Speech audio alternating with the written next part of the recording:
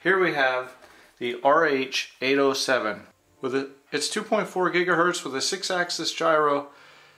Pretty nice looking ducted fan drone. Uh, it's like almost like a chrome red, so that looks pretty cool. So this is the RH807, but it's not this RH807 it's this RH807, which actually it's the RH807H. And what that H stands for is altitude hold. So this drone is altitude hold and we'll be able to see that when we pull the controller out because altitude hold controllers always spring back to the middle. And let's open up this box. Okay, here is your manual. Uh, looks like it's in multiple languages. This pouch here. Comes with two spare propellers. Comes with a 3.7 volt, 150 milliamp hour LiPo battery. And then the USB charger right here. Here's where I was saying the throttle springs back to the middle. So this is altitude hold. There's a lot of buttons on this. I'll go over which ones they are and what they what they do. Here's the drone, pretty sharp looking thing. Battery slides in right here, plug it right here, no on and off switch. Plugging it in and out is turning it on and off. Now back to the controller. As you can see, altitude hold. This is your up, down, left and right, y'all. Forward, reverse, and then left and right. This top button here is if you do a short press, it is headless mode. If you do a long press, it is one key return. This button right here is your one key takeoff, and then this is your one key landing. This drone has multiple rates. So you press this button to go to the higher rate, you press this button to go to the lower rate. This button is for your flips and rolls, so you just press this button and then whichever direction you want to flip or roll. So all these buttons are your trim buttons. These two here is for forward and backwards and then this is your left and your right trim. And then of course you have your power switch right here with the LED. It does require three AAA batteries. So there you go little rundown on the controller. It shows you everything that comes in the box. So I think now after we charge this battery up, we're ready to fly. Okay, now we're to do the test flight of the RH807H. Just plug it in.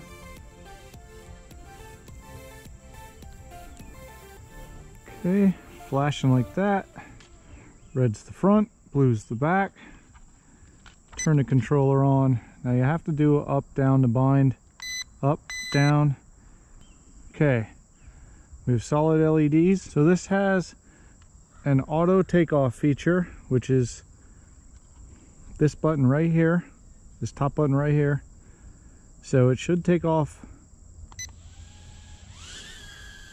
Oh,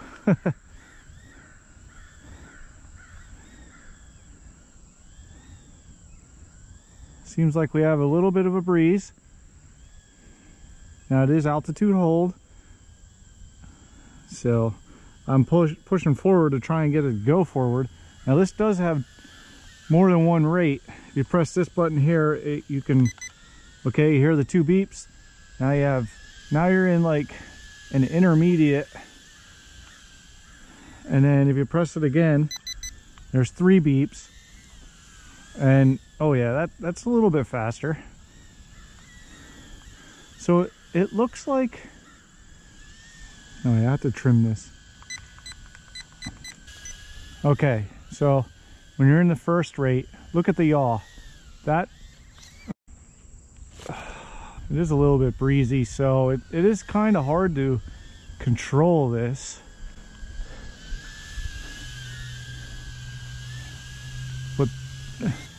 It doesn't feel like there's too much of a breeze, but you can definitely tell that there is a breeze because this thing is is really, whoa, really fighting it. Well, there I can feel a breeze. You can see the, the trees moving a little bit. Well, it's a new day and uh, well, it's a little more calm here. Hopefully this works a little better. Now we're gonna try this one key takeoff, which is this button right here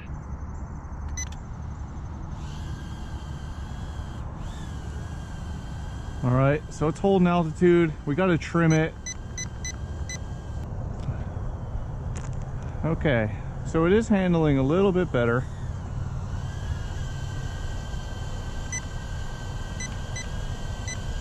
Okay, now we have a perfect hold right there. See that? Well, now it's drifting front.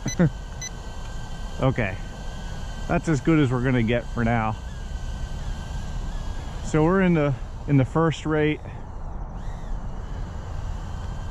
Let's check this yaw out. Okay, the first rate, the yaw is very slow. But if you bump it up, you hear the two beeps there. If you bump it up, the yaw is a little bit faster. It doesn't quite hold a perfect yaw there. And it moves a little quicker too. So let's try the third rate. You heard the three beeps, there's three rates. You can see there's much more pitch.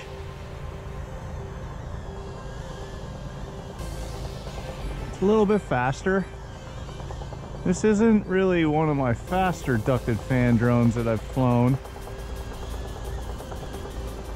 Okay, let's, uh, top right shoulder button is the flips. So let's try a flip here. We'll do a front flip. Okay, so when you do a flip, it seems like it, it raises altitude, then does the flip, and then lands back to the altitude it was at before. You see that? It goes up a little bit and then does the flip. So there was a flip on every angle. So the one key takeoff does work pretty well. Like I said, this this isn't really the fastest one I've flown.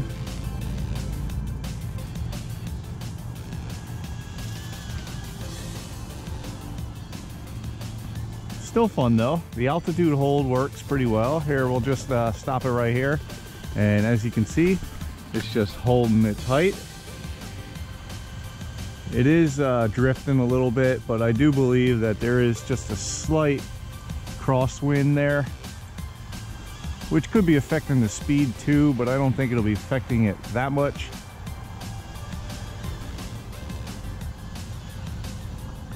So yeah, the flips, the rolls, they all work pretty well. Let's do another one.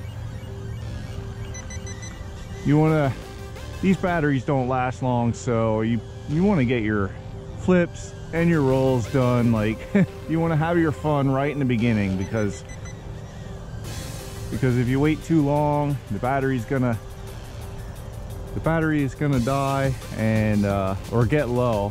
When the when the battery gets low you'll notice the LEDs are gonna blink. So far we're we're doing good. No blinking LEDs so we can still still do our rolls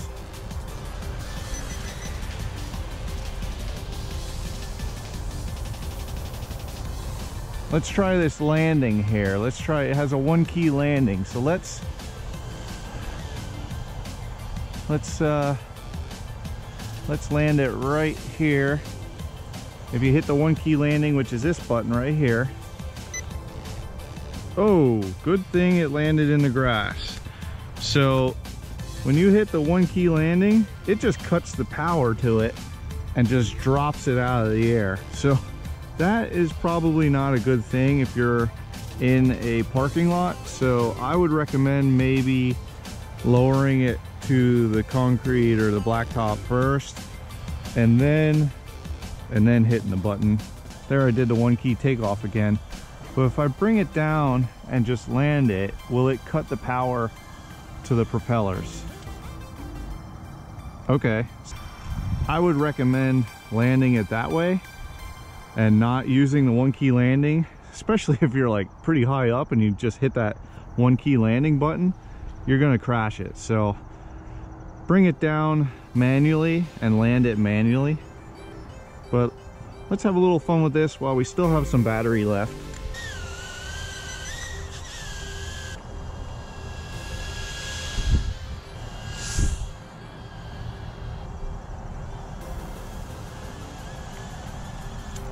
Oh, okay. And, when the battery gets too low, that just landed on its own and shut the power off. So good to know that. So if the battery gets too low, it automatically lands it.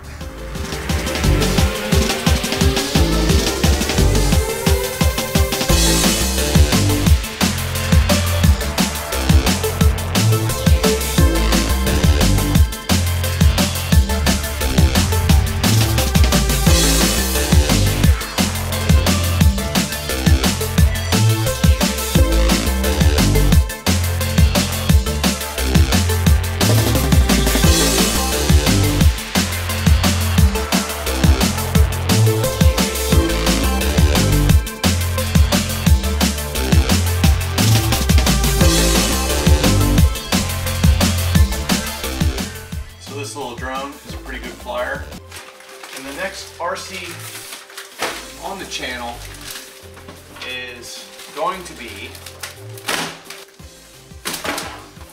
this Q15 rock crawler from JJRC. If you didn't do it already, you're watching this for the first time, right over here is a little subscribe button. Go ahead and click that. Say hello to Abby. And I hope to see you with the next Ready to Run RC.